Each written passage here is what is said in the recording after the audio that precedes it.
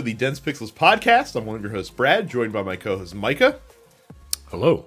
Uh, you will be pleased to know that after uh, going back to our format last week, uh, where we talked about like stuff we've been playing and like normal things and and things of that nature, uh, that we are back to our normal show format of announcing a industry changing acquisition, followed by a wall to wall NFTs, um, as you do.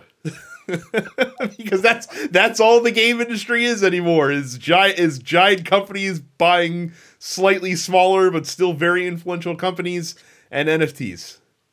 That's the They're games gonna, industry uh, now. They're gonna NFT us to death, man. They're gonna NFT us to death.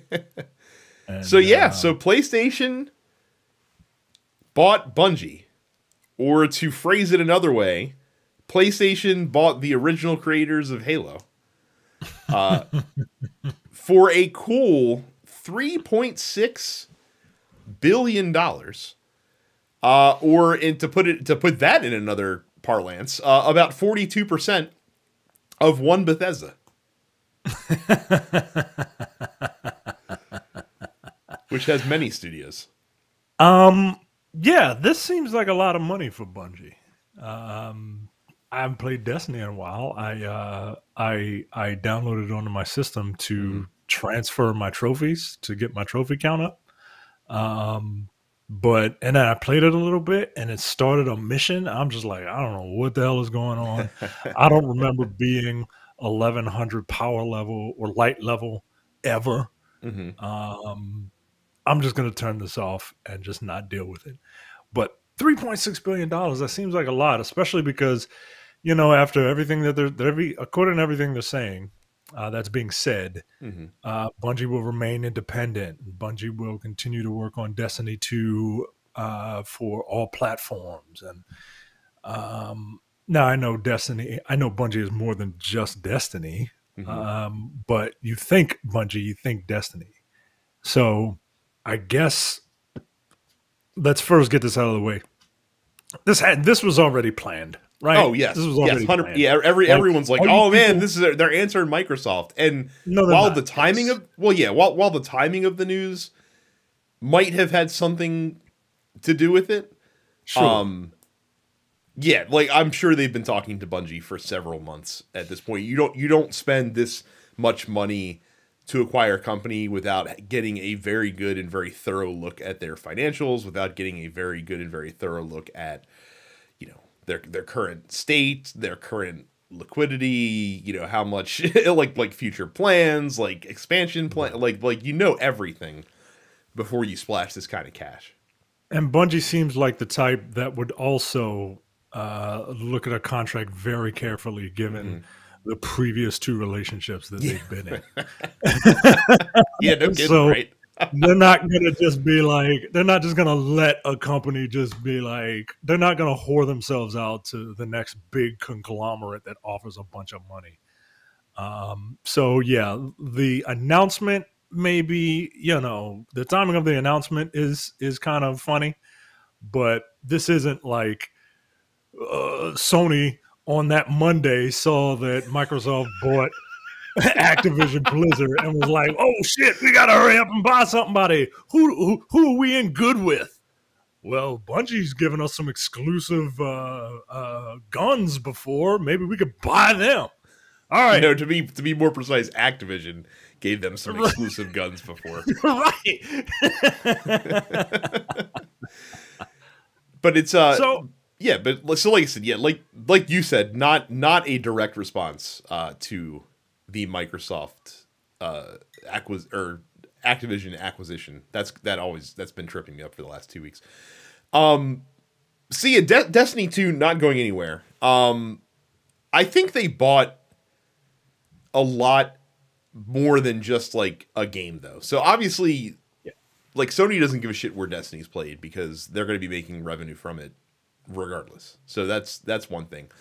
Um Bun or Bungie. Yeah, Bungie has also arguably made the most successful live service game, I would argue, outside of a paid subscription MMO.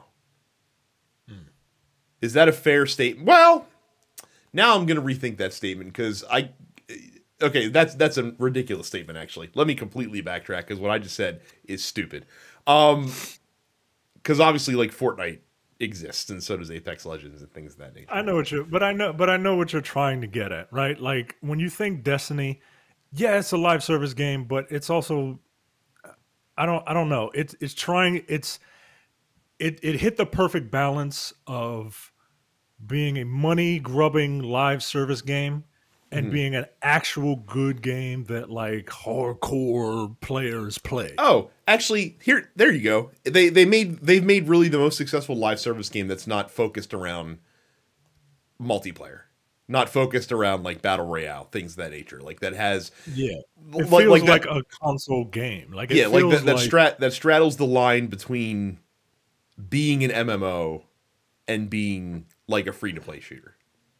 yeah, yeah. and and they've also and not only that but they've also taken that game released it two times had a rocky launch both times and and completely turned the ship around so like like they're not they're they know what they're doing over there and they understand how to craft an experience that the people that they want to play the game um would will appreciate Yeah. Um, so, like you said, you, you don't think Sony is buying Destiny, uh, and I agree with you. I think they're buying. I think they're buying a company that knows how to do shooters very, very, very, very well. Mhm. Um, and as you kind of intimated in uh, the naming of this link, Killzone, Kill next Killzone. I, I, I'm, being, I'm being cheeky by saying I that. Like, know, that would be, that would be shitty to force Bungie to make a fucking Killzone. but I, I understand that, but because it's not, uh, yeah, but I know, but they could make. They're making a new IP. They're Mhm. making a new IP. It wouldn't be out of the bounds of reason to assume that it has something to do with a reticle and a and a, and a firearm, maybe.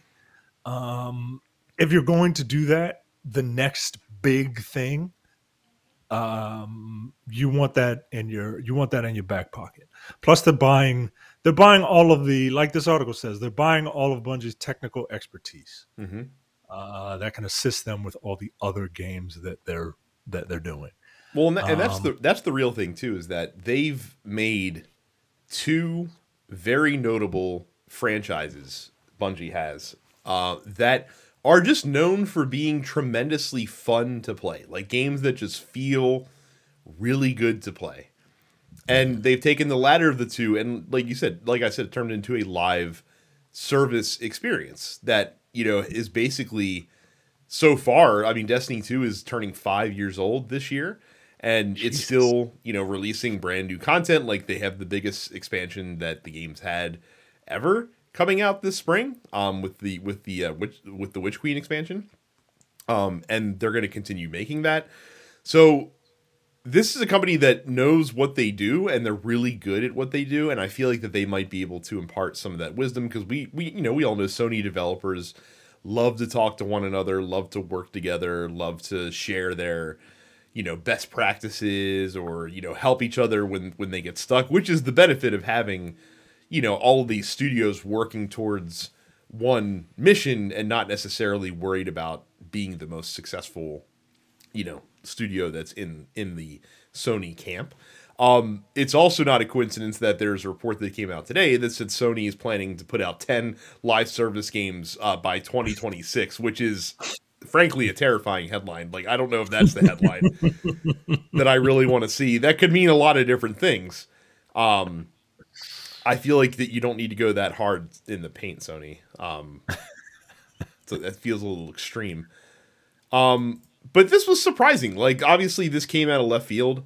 Um, it obvi- it of course did not feel nearly as earth shifting as Activision, um, or even as Bethesda for that matter. Like Bethesda felt a lot more uh, earthquakey um, than this. Do you do you think that we ever see not not Destiny because I, I I truly don't believe that they would silo Destiny to the to the Sony platform exclusively um, at this point. Even even like a new Destiny, like if like if Destiny three were to happen, I don't think that you would see it that you would see it uh, behind uh, a walled garden. But do you think that we do see a new Bungie game um, or series that is PlayStation exclusive, or do you truly think that they're going to be independent and can publish wherever they want to? I think um, I think eventually, maybe not right now. You mm-hmm. know, you gotta you gotta you gotta get comfortable in the marriage before you start doing a bunch of like before before the real you comes out. so, so, but eventually, I think that you know when they're doing Destiny three and it's multi platform or whatever, I think they're gonna split some of that team off and say, hey. We'll we'll give you all the money you need for Destiny 3 how about you make us something right? Mm-hmm. we'll give you we'll give you we'll give you a money to make the most beautiful cake you've ever seen. Just make me a smash cake for for my kid or something like that. And we'll see where this goes. You know what i mean? Mm-hmm. and it'll only be for us. Um, and i don't think that's completely unreasonable. Um, if you know if that's how their relationship is structured.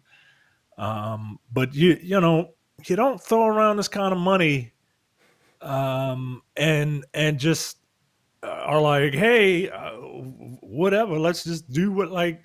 No, man, you throw around this kind of money, you're gonna want some say. Like that's mm. why there are executive producers in movies that have like studio notes and shit. Like, nope, he's got to fight a giant spider at the end of it, like because they're paying the the fucking money, right? And if they're paying the money and they want to see a giant spider at the end of it, well, then Will Smith is going to have to fight a giant spider. Like that's just how it is. They, and it's also worth noting here. So Bungie has 900 employees. Um, they're also like an interesting studio in that they are be, because they've had some level of autonomy. Even like when they worked with Activision, even though Activision was very overbearing on terms of like the type of content that was in the game, I don't know how much they actually had their hands on the development of the Destiny games. Um, they're they almost run in like a Blizzard esque sort of way. In, in some fashion, so like I almost wonder if like you could see an expansion of them and they could al- almost become like Sony's Blizzard in a lot of ways, where they're working on like these very specific genre games. Yeah. That but that that are just very polished and and very fun to play and very accessible and things of that nature. I don't know. Like I said, it's I mean, it's, can... it's it's a long uh long tail on this one. Um, and it's kind of hard to see past Destiny right now because that's all we really know. Um, but shifting gears from there, so we talked about when the Activision Blizzard thing happened. Um, that I feel like that in this climate, you're gonna see governments looking a little bit more harshly at these kind of deals. Um, and and the Sony Bungie thing, I think you might see as well, even though that's a little bit less of a you know industry shift that's kind of just one studio acquiring a developer which is you know par for the course. Um, but apparently the the federal trade commission in the us is going to be reviewing uh, the activision blizzard deal uh, as opposed to the justice department um, which is very interesting. And it's the ftc is headed up by uh, a woman named Lina Khan um, who is kind of known before she was appointed to that post uh, to be very wary of consolidation, especially in like the tech industry and things like that. Like one of her things was an was like a thesis that she wrote, or uh, like like a big essay that she wrote um, about the dangers of tech consolidation and why we should be paying more attention to companies like you know Facebook buying Instagram and things of that nature. Um, so it could be very interesting uh, what the FTC uh, comes to make of this, uh, which we'll see. I don't know. Like I said, I don't personally think it'll stop it because, um, it, it it's it's just a, it just doesn't seem like a deal that governments are inclined to to kind of put the brakes on. But we'll see. Like like is I, it because, I is it because it's video games? You know what I mean? And and a lot of people still see video games as a they don't take it seriously until they want to take it seriously. Yeah. You know what I mean? Like like so it like it's not like something that is ubiquitous, right? It's not Google, right? Yeah. Like every like Google is a verb at this point, right? Like it's been used so much that it's a verb. So everyone knows so people are going to have their eyes on companies like that. and everyone knows who Microsoft is. But well, I think I think that's it right there. Not not only like is it Microsoft, Microsoft specifically had like has an infamous past when it comes to when it comes to this kind of thing. Like if you look back in the '90s, um, Microsoft was kind of the post. They kind of slowed down a lot of acquisitions that you might have seen like around the internet bubble in the early 2000s because they got their hand slapped so bad by the government, right. and and so like that. I think just the fact that they're involved um, is automatically going to invite scrutiny. But I think a lot of people had you know hemmed and hawed in the and during the Trump administration when like the the Sprint T-Mobile merger went through without too much you know without too much scrutiny and the AT&T Time Warner merger went through without much scrutiny and the Disney you know Fox acquisition you know of their of their properties went through um, without a whole lot of oversight and a lot of people were really scratching their heads especially like with the Disney thing because look how much entertainment Disney's consolidated underneath of their umbrella. Um, and when you have companies like Netflix whose stock is taking a beating, and I'm sure if you look at their financials, uh, things are not going too well because they've lost a lot of this content that they could stream. I'm sure, like if Netflix is raising the alarm, then you know that's going to force some people to take a look at things. Yeah, yeah. So it's it's wild, man. Like it's like I don't I don't have a problem with corporations existing, right? Like I'm not one of those I'm not one of those people that's just like all corporations are bad. Uh, you know, just a majority of them are bad. But um but I you know, I don't want corporations to be able to run to run rampant either, right? Mm-hmm. Like I don't want to I don't want to eventually live in a mega city one where I don't want to as much as like I enjoy the cyberpunk genre, like I I don't want to live in it, you know what mm-hmm. I mean? A lot, um, a lot of um, folks are wringing their hands about like industry consolidation in the game industry, and I I understand where the concern comes from, but the thing with the game industry is that people, especially nowadays, talented people want to advance beyond their station, and talented people also get bored being in one place and doing the same thing for a long time. So like I'll, I'll give you this as, as an example. So, like, you know, let's say you have these, you know, team leads and, and guys that could be game directors, like working at Bungie, and, you know, Destiny's going really well, whatever other projects they're working on going well, but there's just not a lot of upward mobility for them. But they definitely have the talents and maybe, or maybe just like Destiny or the type of games that Bungie's making just isn't the type of stuff that they are passionate about making anymore. What we always see is that those people tend to leave. You know, they'll make a shitload of money, then they'll go, open their own independent studio, start small, bring on a small team, and if they're really good, then they'll probably put out a good game. And you have this constant churn of indies that are, you know, that are strong. Like that's why we've seen the independent game industry really just fucking blow up like crazy over the past decade. And then the other people, you know, in below them get to then move up in their spots, and the, the cycle kind of continues itself. The, th- the thing that I worry about is the thing that we saw in the early 2010s, where we saw this, you know, big acquisition strategy happening with a lot of big publishers, and then there was like a dip in the game industry as a whole, or not even a dip, but just like a leveling. There wasn't like the kind of constant growth that was being projected and then yeah. you get a bunch of studios being closed because not every game can you know sell five million units. That that's what I'm more concerned about. Yeah, yeah, I see. I see what you're saying. Um, I don't know, man. It's interesting. It's um, it's super interesting, man. So, uh, you know what else is interesting? PlayStation and Discord integration is apparently coming down the pipe soon. Which is pretty, yeah, they pretty uh, exciting. They asked they asked me if I wanted to link my PlayStation account to my Discord. I was like, all right, whatever. I don't, but I don't use not, either much. Yeah, but but messing with Sony, not the only thing that you can do on Discord. That's right.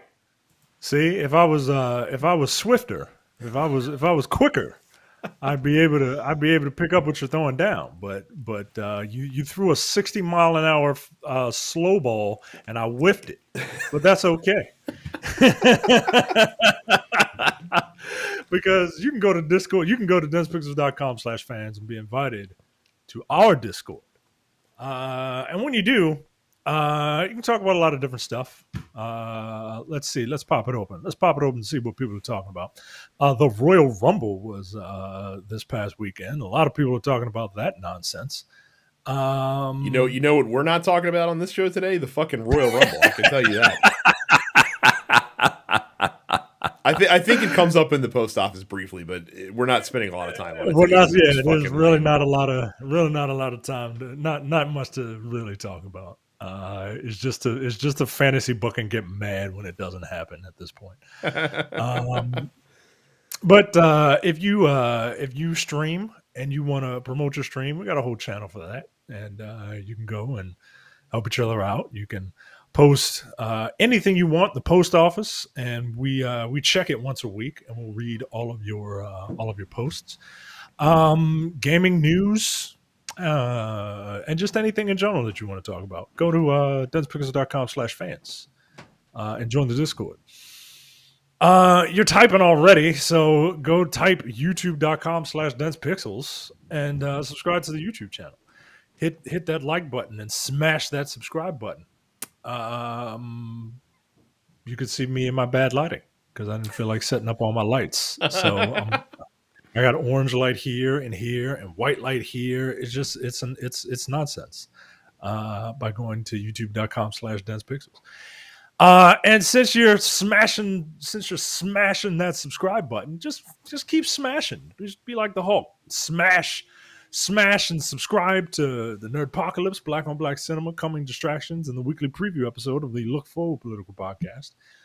And um, you know, if you're feeling generous, uh, which you should be, you know, you, you should be feeling very generous.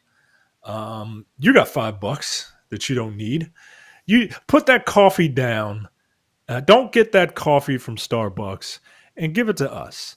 Uh, and by doing that once a month or $50 for the full year, you get uh, access to a whole slew of other podcasts uh, that include The Airing of Grievances, No Time to Bleed, The Men with the Golden Tongues, Upstage Conversations, and the entire hour and a half to two hour ish episode of the Look Forward Political Podcast. And look, we we we might need the money because I'm out here picking fights with more successful podcast networks, so we might need them for to, to pay to pay our lawyers as we as we fight trademark battles in, in small claims court. So. So we, re- we really we really need your support here at uh, densepixels.com slash premium. Doing what you do. Uh, If you could at least subscribe for 83 weeks, that would be wonderful. So, d- despite the fact that this is going to be the February to end all Februarys in terms of game releases, there's not a lot of game releases this week. The most notable game release this week uh, is Dying Light 2 Stay Human, which is coming to PC, PlayStation, and Xbox. Uh, reviews are starting to come out now for this game. And the thing that I've heard more than anything is that the bugs are more numerous and more impactful than those of that were in Cyberpunk 2077, which is not not what you want to hear. if you're looking forward to Dying Light 2, just saying you may want to wait until a patch or 60 uh, come out for that game. I mean, that's like the gaming equivalent of calling a black person the N word, right? Like, to, be, to say that your game has more bugs than, than Cyberpunk. and and are worse and are and are And like are more worse? more impactful of the game experience than than than those of Cyberpunk 2077. Um yeah, that's rough, man. Like good to know that in this day and age where a lot of companies seem to really be taking things more responsibly and, and trying to hold off games until they're truly ready to release. I see you, Halo Infinite, you know, things of that nature. we still have companies out there that are just like, we just got to get something out the door eventually because Jesus Christ, we've been working on this thing for seven years. Uh, Life is Strange Remastered Collection comes to PC, PlayStation, Xbox, and Google Stadia. Uh, Chef-tastic Bullet Blast comes to PC. Believe it or not, that is the extent of the new games that I'm aware of that are coming this week. But because it is a new month, uh, we do have new PlayStation Plus games for you. Uh, on PlayStation 5, you get Planet Coaster Console Edition. Um, and on PS4 and PS5, you get UFC 4 and Tiny Tina's Assault on Dragon Keep, a one shot adventure. This is one of the Borderlands 2 DLCs that they are releasing as a standalone game. Obviously, in anticipation of Tiny Tina's Wonderlands, which is coming out this spring. I mean, you talk about like I wonder if this is a good move, right? Because I I assume that Assault on Dragon's Keep is the the it was it was I'm, i assume it has the aesthetic that this new game is going to have, right? Like yes. Dungeons and Dragons style. Yes. Like, uh, do you burn your do you burn your uh, your potential base? Uh, do do they get burnt out if they play this for free, or well, I mean, do you think this really is just enough? Is do you think this will be just enough to kind of get people like into it? I think that they are doing this to get people who like Borderlands, maybe casually, but and have seen like previews for Wonderlands and are just like, I don't know about this game. What is this? And they kind of want to give them a chance to kind of get a sense for what the game is going to be like. Mm. That's that's my that's my guess. That's my guess because this DLC I, uh, was very popular. Like a lot of people really enjoyed it. So oh, I imagine it was. They're making a whole damn game based off of it. So yeah, I would imagine that it was very popular. I think I am kind of burnt out on Borderlands. For I I don't know if I need another Borderlands for a very very very long time. Um, not not without an appreciable shaking up of the of the formula. I don't think because yeah. I, I the, though I did very much enjoy uh, playing through Borderlands 3, I definitely have not returned to it. Um, yeah, since since I beat it. So yeah, uh, I I played I played as much as I like. I yeah, I enjoyed it, but I didn't I didn't enjoy it as much as I did Borderlands 2. Like I I had multiple characters leveled up and multiple builds and all that, and just and and Borderlands 3 it was very fun, but I couldn't really stomach playing it again. And I don't yeah. know if it's just the writing uh, that I've just kind of grown out of, or if it's the uh, or if it's the gameplay loop. I don't I don't think it's the gameplay loop. I I enjoyed it, but I don't like. I don't know. I, I would argue. I would argue the gameplay loop is probably part of it because there are uh, between two, you know, two and three coming out, seven year seven year gap there was a lot of games, especially in that action RPG space, like that very like looped, repeatable, you know, grind type of space, um, that came out and just did it better and more fun. Yeah. And Borderlands 3, I felt like stuck to the formula a little too slavishly, like a little too eh, like it was it was a little too in line with what they had done previously. Yeah. So and didn't do enough to modernize. So, like I said, fine game, but again, I haven't I haven't revisited it at all since since I uh since I beat it. Um Xbox also released their free games. Now look, I've come to the realization that because Game Pass exists and because Game Pass is such an excellent deal, I think we just have to come to grips with the fact that Games with Gold is probably going to be like shit pretty much most uh, most most months. I don't think you can expect anything from there, and I think that's the trade off you have to make when you get brand new AAA games day one uh, for this monthly subscription price. Yeah, yeah. So I don't. I've I've I I don't think I've heard of any one of these four games. Uh, I have not heard of any of them. Yeah. So I Broken Sword five available the entire month. Uh, Never Yield, available the second half of the month into March.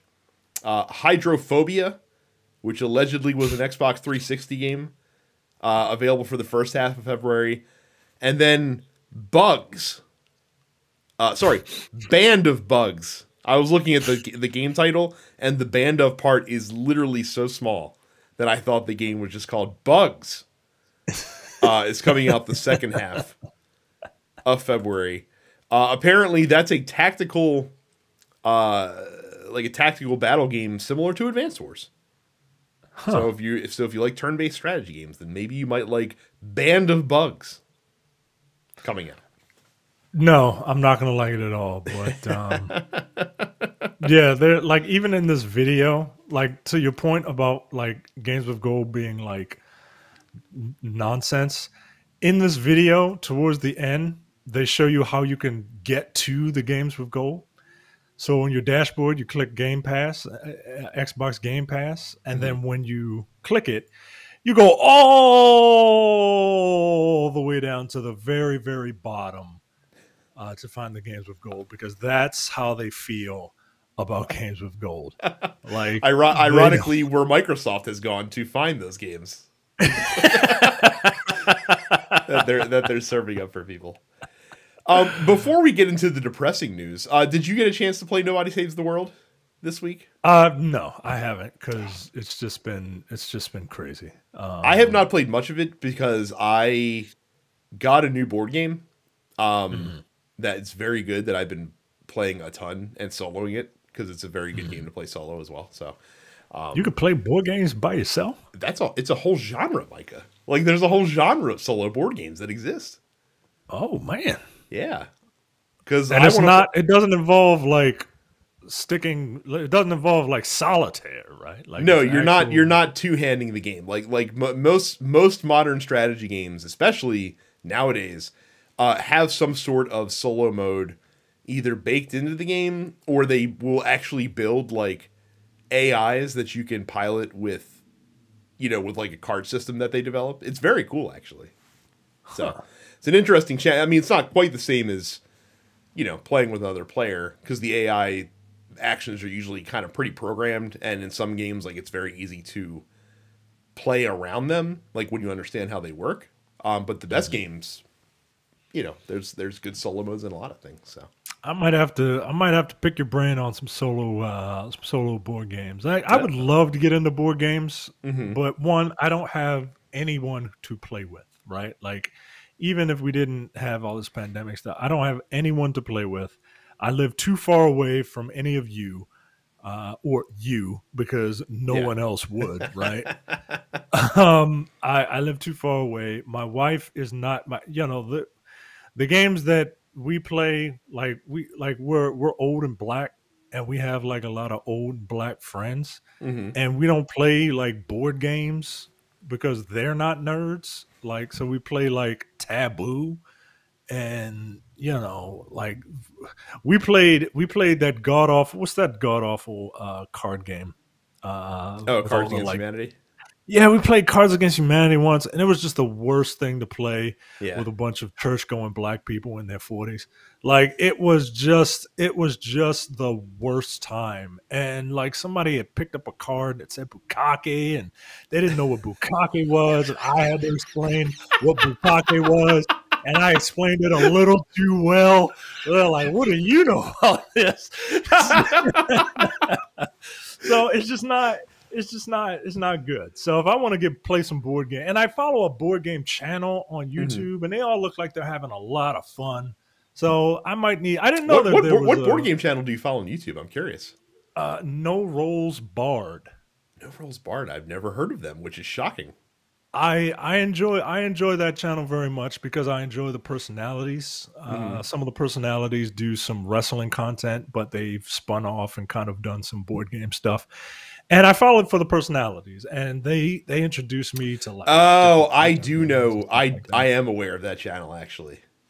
yes. Yes. I, I I take it I take it that's not a good sign. No, they're not really. they, They're not hardcore. I would I would imagine they're not hardcore. Uh, they they're looked down on slightly just because they're just parlaying their wrestling fame into. Well, yeah, Yeah. yeah, I get it. I get Yeah, it. yeah, yeah. yeah. Um, yeah. No, look, I'm not. I'm not getting into a hardcore board game channel. I didn't even know that you could play board games by yourself. So I'm not. I, I will. Uh, I will. I will have to compile uh, some accessible solo games that you might be interested to check out. Then, so. Okay. Hopefully, nothing that breaks the bank. Like, Well, I mean, define break the bank. Like that. That's that's the thing. Like like in a hobby board game, like like like you're like, hey, this is sixty dollars. I'm like, I'm, I'm not even blinking. Like that's just I, yeah, like fifty bucks is fine. okay. I'm not trying to pay like seventy five hundred dollars for a board game. All right, that's fine. That's fine. We can we can work around that. Um, so moving on to this week in NFTs. Um, I didn't think it was possible that this early in the cycle we would get to the worst take that you will see on NFTs. Yet, I find it difficult to see how this is ever going to be topped. and Ubi, or sorry, Ubisoft, um, so stupid, uh, had an executive that decided to give an interview to an Australian publication. Uh, his name is Nicolas Pouillard and he is the leader of Ubisoft Strategic Innovations Lab, is what his job is. And uh, he gave an interview, and he said that Ubisoft is accustomed to such negative responses in the wake of new things, and that video game fans, quote, don't get what a digital secondary market can bring to them and that's that's our problem because because we just don't get it, Micah. Uh, quoting again, for now, because of the current situation and context of NFTs, gamers really believe it's first destroying the planet and second a tool for speculation. It's totally both of those things. It uh, is. the end game is about giving players the opportunity to resell their items once they're finished with them or they're finished playing the game itself. That's all they want to do, Micah. They just want to they just want to benevolently benevolently gift us the ability to get rid of our digital goods. That, that how how how stupid of us to think that they had any other ulterior motives uh, to the contrary. Uh, that we uh, that we thought they they were just did it for the money, Micah. Uh, yeah, every time, every time anyone, literally anyone from Ubisoft opens their mouth, it gets it, it makes it really really hard to want to play their games. And normally i'm just like whatever i'll play the i, I just want to play some cool games. Like i don't know man. I i, I don't i don't like uh, you shouldn't be talking like this uh nick um strategic uh, the leader of the strategic innov- strategic innovations lab. I just don't. Nobody likes being talked down to, Nick. Um, Mike, you just don't get it, obviously. Yeah, yo, this is the like you said, this is the worst possible take that you can have for NF for this whole NFT situation. Now, do P now is it confusing? Yes. Part of the reason it's confusing is because you are not explaining it properly. Um, no one is, and there's a reason for that the and it, it's to confuse people who might not be the brightest or or to, basically to confuse people who are ignorant to the topic by using big words by using uh, acronyms. Uh, because if you say an acronym most people they they don't just say hey what does that stand for? I'm not one of those people. I'll just be like yo what does this stand for? And non-fungible token what the fuck does that mean like it just like so yes yes a lot of people are ignorant to it but you are not explaining it properly. And yes it's hurting the fucking planet yo. Like i'm not like i'm not like one of those people that's like you know i'm not a i'm not i'm not i'm not the black guy from captain planet right? But at the same time like i want to live here right? Like we haven't found mass relays yet so we gotta stick we gotta we gotta live here. But this whole like you don't get it. No, fuck you, dude. And and, and, and a lot of people do fucking get it and they don't fucking want it. If there's if they're so concerned with being able to resell digital goods or things of that nature, like there are ways to do that that don't rely on the blockchain it's a lot more work and it requires you to actually have like beefed up security that you know can that can not be assailed by some you know an 18 year old working in his mom's basement which these companies never seem to do but you can you can if you if you truly care about that like there there are definitely ways you can do that without having to run it off of the blockchain which is the reason why NFTs are environmentally uh, harmful.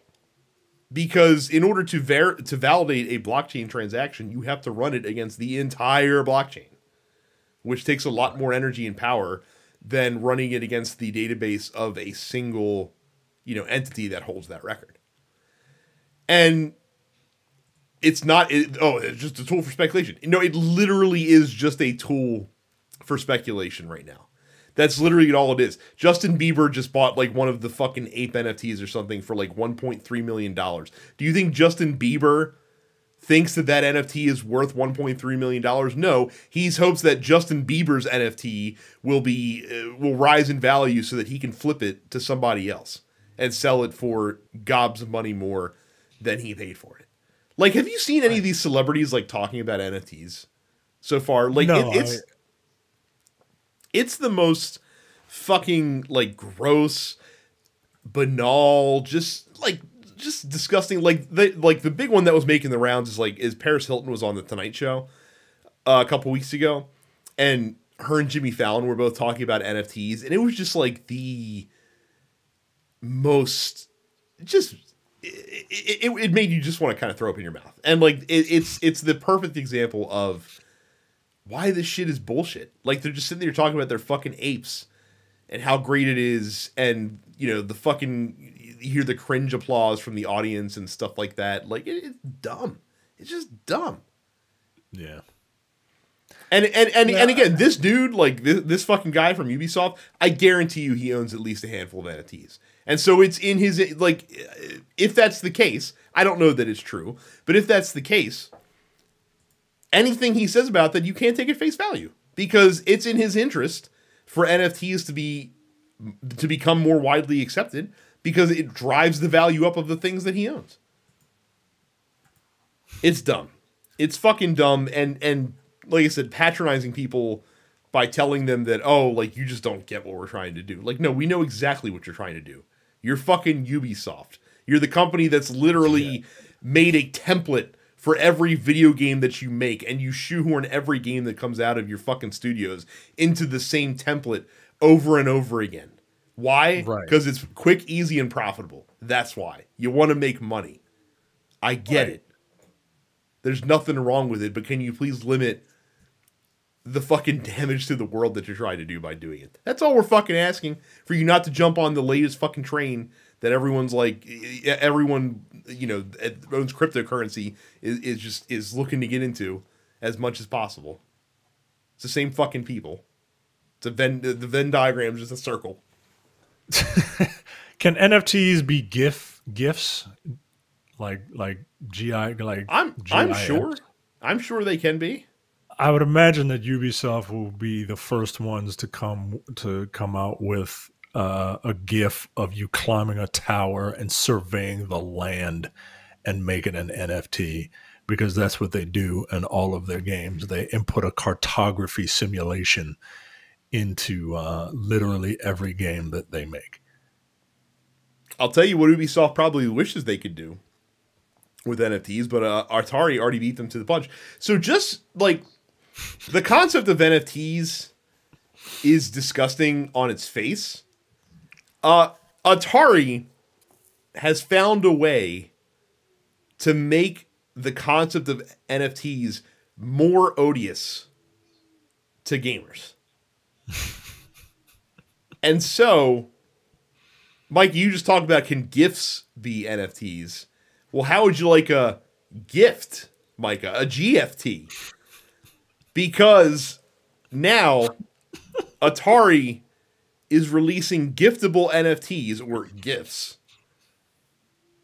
that unwrap on a specific date that have a surprise inside.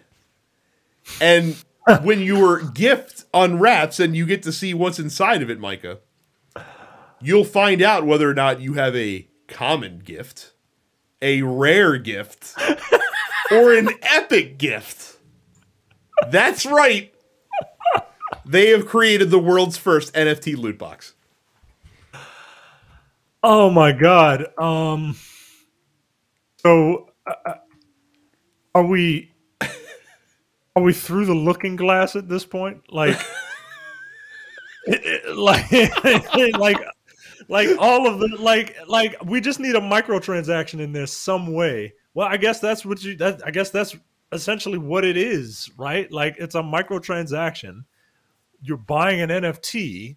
I, I'm And- pretty sure it's a macro transaction, Micah. At this, at this point, considering how this shit works. Like it's it's everything that makes modern gaming the worst in one thing. in one delightful Wow. package that you can't open until a specific date. I'll I'll read two incredibly masturbatory quotes for you uh, from this. First, from Wade Rosen, uh, the CEO of Atari. Uh, what better way to commemorate Atari's 50th anniversary than by ushering in a new era of technological innovation while also honoring the brand that launched the modern video game industry? He said. And then Janine Yorio, who's the CEO of Republic Realm, which is the company that they're partnering to do this with, uh, describes the gift as, quote, like Hallmark cards for the next generation. A more exciting, meaningful gift than either a greeting card or a gift certificate. The- uh, First of all, this is this is exactly how I explained bukake to my wife's friend. um, and and second of all, like fuck you, lady, fuck you. What the fuck? I'll tell you like- what, the, the the the only thing that makes my Hallmark card experience more exciting is getting to bid, you know, against other people trying to buy the one copy of the Hallmark card that exists at the Hallmark store. Woo! What a what a good time that is. Gotta love that. And I don't even know what the card looks like. It's just it's just Hallmark's telling me, like, trust me, this card is fucking dope. Like you're gonna Yeah, you're gonna this love it. Valentine's this Valentine's Day card is dope, and it'll open in March. It will it will get you laid. It will get you laid. Trust me. Holy shit, man. Yeah, this is um yeah. And this is why and this is why I this is why I hate corporations. Not because I don't hate corporations. is why I don't like corporations. Yeah, merge right? Because- merge all you want. Just stop trying to shove bullshit down our throats. Right, just like like if you're gonna if you're gonna merge, like at least come up with some new fucking ideas. No, you're taking one bad idea, combining it with another bad idea, adding a sprinkling of a third bad idea to give the ultimate bad idea. this is just the fucking worst, man. This is why people should hate corporations. They got all the fucking uh, uh, money and brain power that that money can buy, and this is the shit they're coming up with. Just, god damn it! I I just I just love the complete uh the complete lack of putting one's finger in the air and just kind of like taking stock of the general climate around this shit. Like Right? like it's like you have eyes. Like obviously like you have social media, you see what's going on and you're just like, "Man, like we're going to announce NFT loot boxes. This is going to be so fucking cool." Of course it came from Atari, a company that nobody's cared about for 30 years. And like, and like, they're not even like, they're not even like, they're not even like uh, lying to get like a cheap pop. Remember, like, like remember when Crystal Dynamics was like, there will be no uh, free to play um, uh, things in Marvel's Avengers, and then and then they got that cheap pop, right? And Yeah, then no loot no loot boxes. Well, right, and and then you know. Well, maybe everybody forgot about it, so like let's let's just kind of guys, guys I, I don't know if you know, but a game like this, we really need to make money constantly over this term. So uh, I know what we said, but uh, not So, enough like- of you guys actually bought the game. So those of you that did, uh, can we have some more money, please? so they're not even like these corporations aren't even lying anymore just to like get a little bit of goodwill like i mean i guess i respect it in some weird way where it's just like no fu- la- no we're gonna we're gonna bend you right over we're gonna try our best to bend you over and get as much money from you as possible uh, before you wise up What fucking idiots buying the Atari giftable NFT anyway? i'm sure there's some hardcore atari dummy out Like there what's like, like what's going to be in there? A fucking s- screenshot from ET, the landfill game.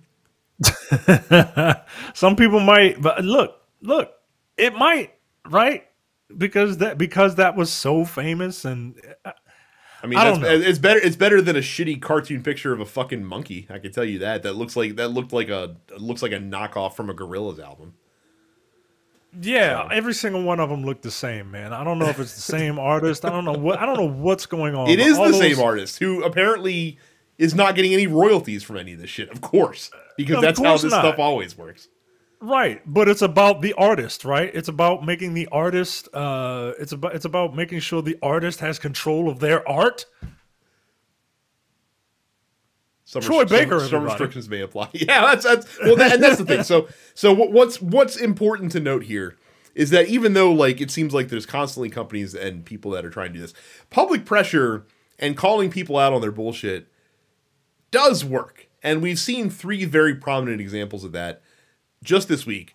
Um, so we talked about Troy Baker last week, uh, throwing his support behind this company that was trying to make audio NFTs, and people immediately fucking clap back at Troy Baker, be like, "Dude, what the fuck are you doing? Like, you don't know, you you literally don't understand what you're doing. That that's painfully obvious." And he's reversing course. Um, he put out a tweet yesterday that said uh, he apologized for anyone for accusing anyone of hating simply for disagreeing with me. Uh, thank you for your feedback and patience. After careful consideration, I've decided not to continue the partnership uh, with Voiceverse NFT. Good, Yeah. good. Look, I'm not above people. I, I don't think that everyone that there are some people who are beyond reproach, but I'm willing to give people the benefit of the doubt one time.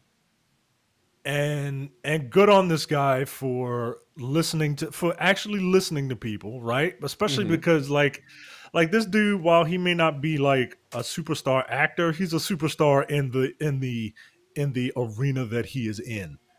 And he could easily just be like he could easily just stick his fingers in his ears and thinks he knows better. But he he he actually looked at it he actually uh, uh, investigated it and came to this very very wise decision uh, and and and i applaud him for that uh, hopefully uh, he will be able now to educate or help educate others in in in the nonsense that is NFTs. Even if you don't, even if you don't uh, still fully understand it, like you can try your best and and just it's the responsible thing to do, especially when you are a leader in your field. Or to put it or to put it in ways that he might be able to understand. Look, you can bloviate or you can educate. Which one are you going to be?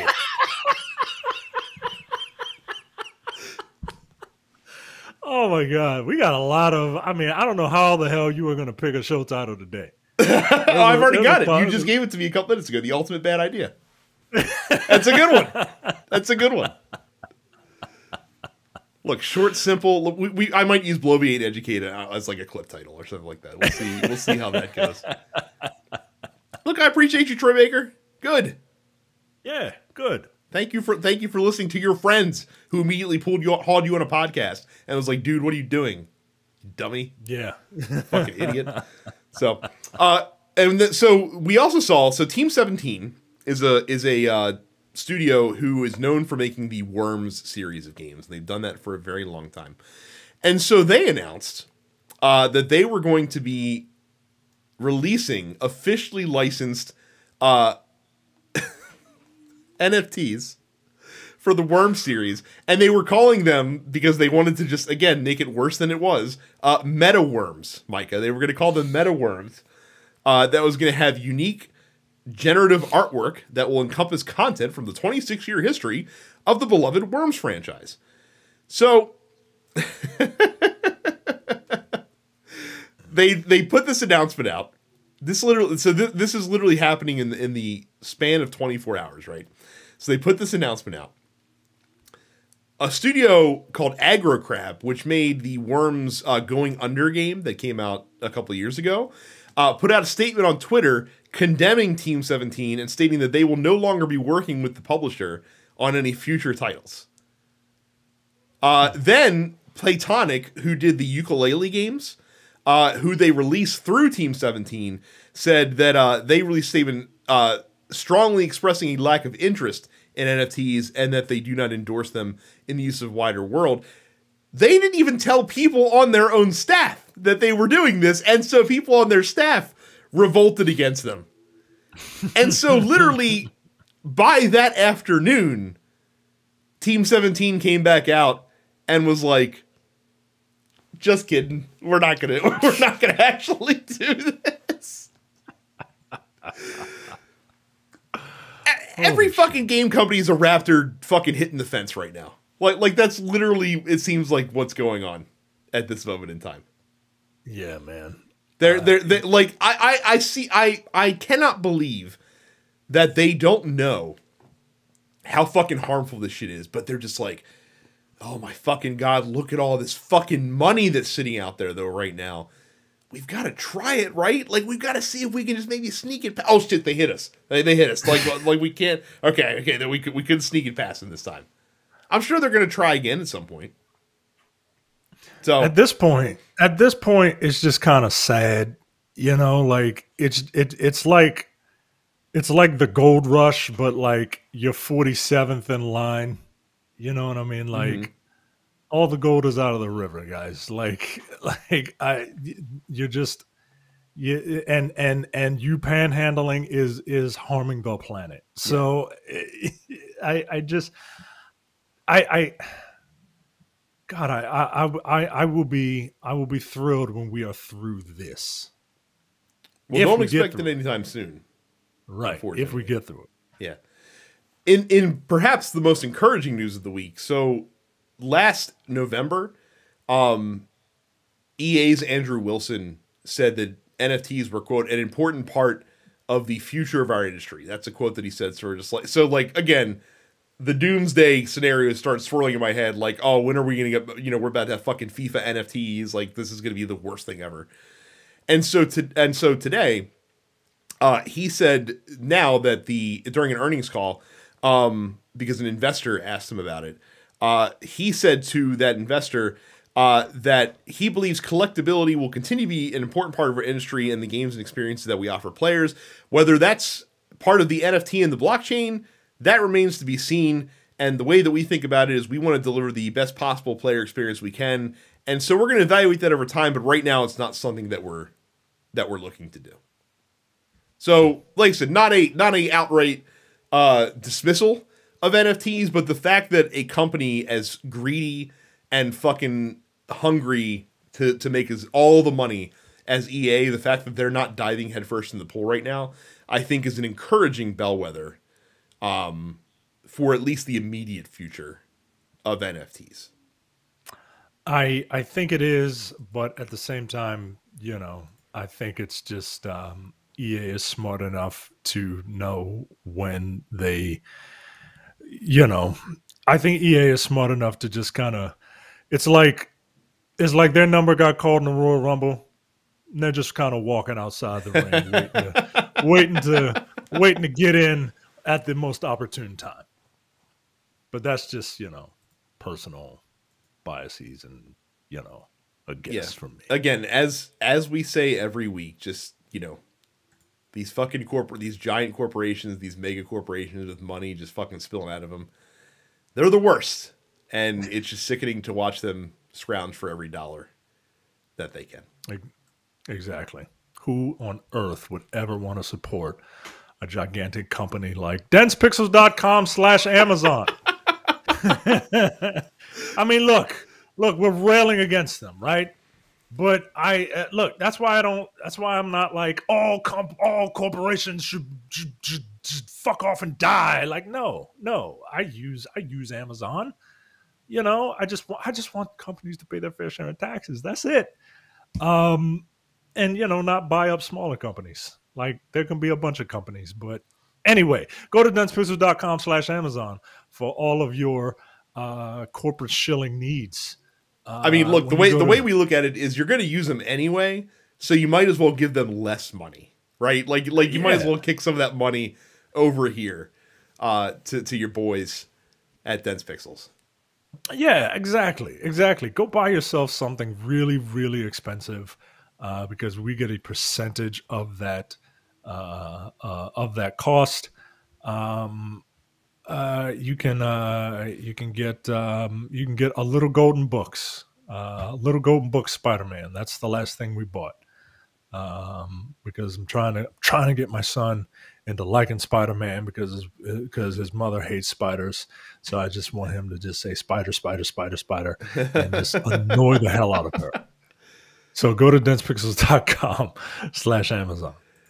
So we go to the post office. Uh, we'll start with Film Wanderer, who asks, on a scale of 1 to 10, how not surprised were you guys when Brock Lesnar was number 30 in the Royal Rumble and then bulldozed everybody?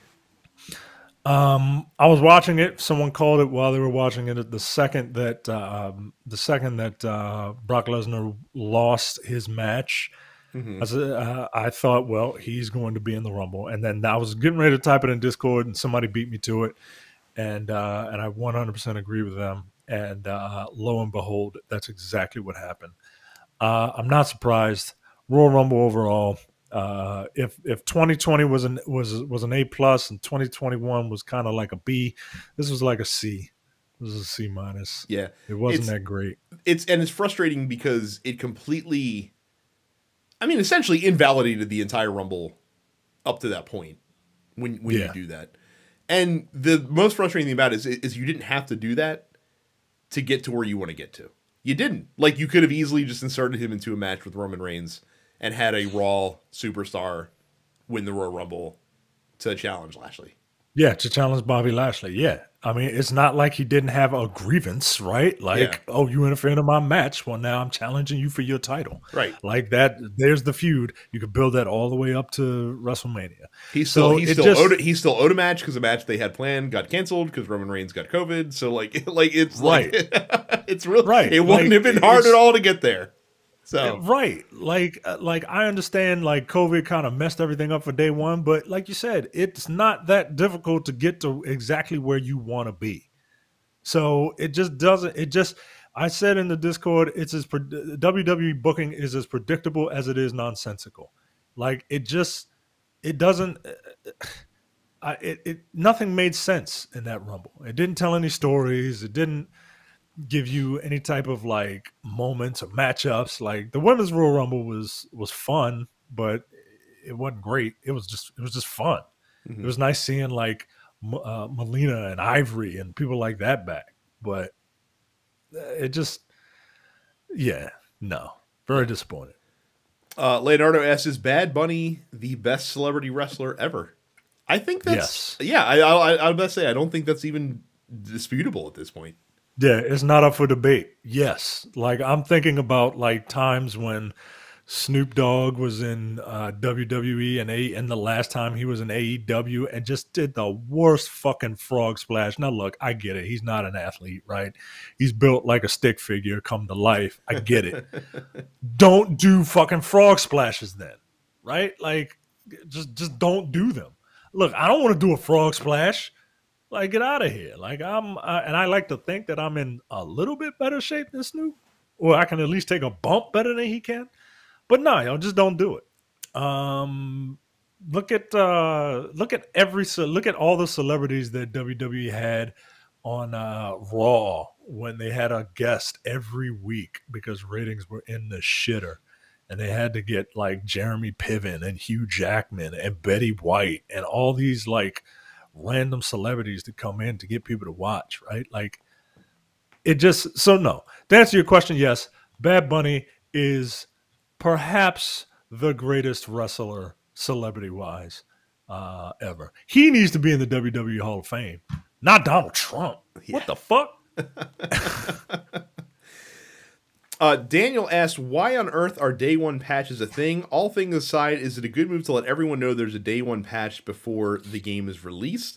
Um, Kerry does reply to him in there, but so here's kind of the timeline of video games nowadays, um, especially like large video games. So when a game is finished, so basically, since games come out on discs, the production process is part of that.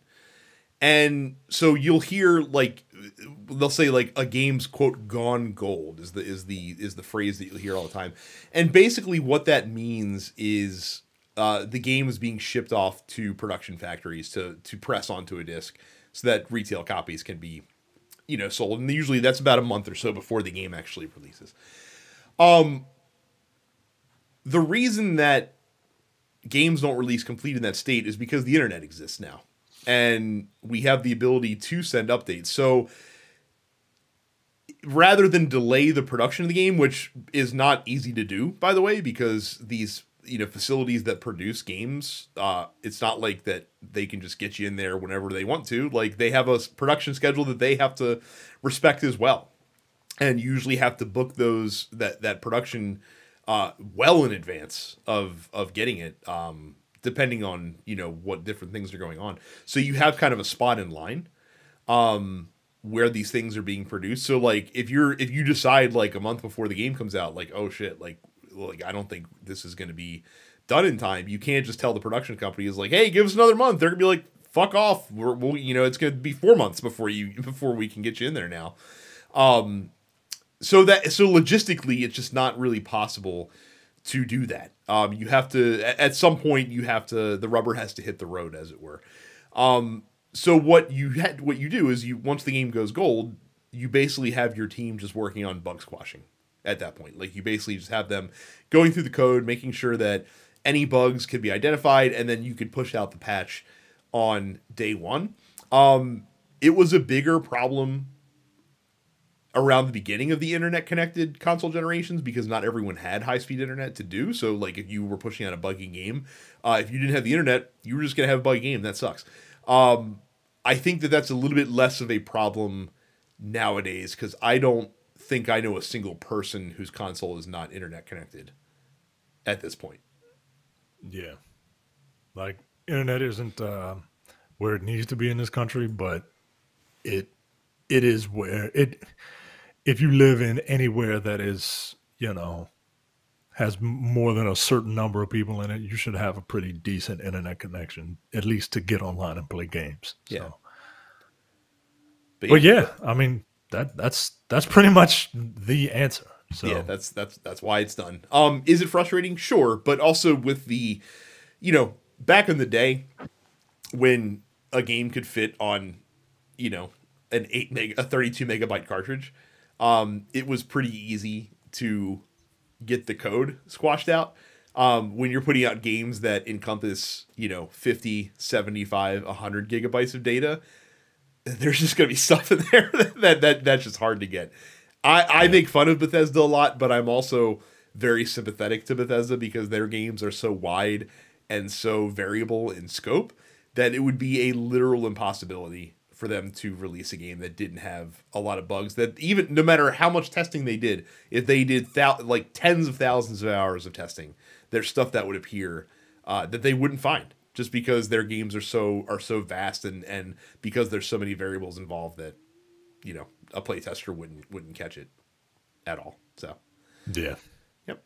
So uh, that's it for the show this week. Thank you guys for submitting your questions to the post office, which you can do at densepixels.com slash fans and join our Discord. Uh, make sure you subscribe to the show wherever you get your podcast. Go to youtube.com slash densepixels. Subscribe there as well. Subscribe to the Dense Pixels Twitch channel at twitch.tv slash densepixels. And you can also uh, follow us individually. Uh, I am Dense Pixels Brad. Terrence is Apparition 410. Carrie Suppins Carrie. You should go ahead and follow all of us, even though we don't stream as frequently as we probably should. Uh, hopefully later this year we can start to do that. And then, uh, yeah, make sure you go to densepixels.com slash premium, sign up for premium content so that uh, when we have to hire trademark lawyers, uh, we can we can do that with uh, with very high success. Look, I'll tell you this about me. I'm a nice guy. Every everyone in the network like loves to fucking talk about how nice Brad is. He's the nicest guy. Like he like he's so mild mannered stuff like this. You put me in a situation where you give me the opportunity to be a petty asshole, I'm gonna fucking do it. Look, I got to tell you, I'm a big fan of Mad Brad.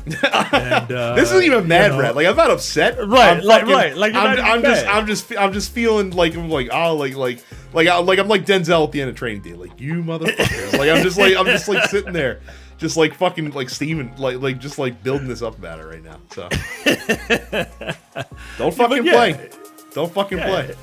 This side of Brad doesn't come out often, uh, and when it does, uh, you know, it, it, it it's as uh, as the great Rupert Thorne always says, the brighter the picture, the darker the negative. I think we'll end it there. Thanks for listening and watching. We'll see you all the next time. See ya. You're watching the Dense Pixels YouTube channel. Click the subscribe button while you're here and make sure you check out our weekly podcast where we discuss the latest gaming news and our impressions on what games we've been playing.